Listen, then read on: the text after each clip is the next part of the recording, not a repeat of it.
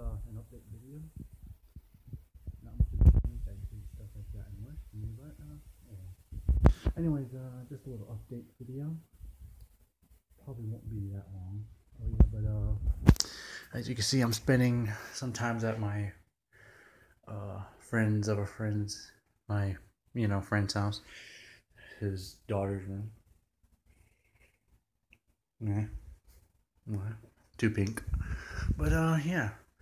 I uh went to Walmart just today and I bought this game.